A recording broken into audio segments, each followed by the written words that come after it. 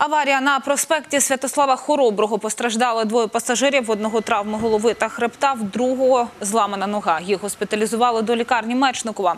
Сталося ДТП близько третьої ночі. Патрульні припускають, водій кермував на підпитку. Усі деталі встановлять слідчі.